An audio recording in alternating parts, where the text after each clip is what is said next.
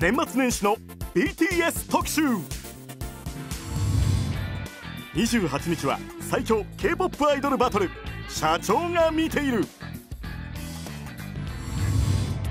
29日は知ってるお兄さんに BTS が出演した回をお届け。31日大晦日はランニングマン。そして年明け2日と3日はホドンイトゥクのスターキング。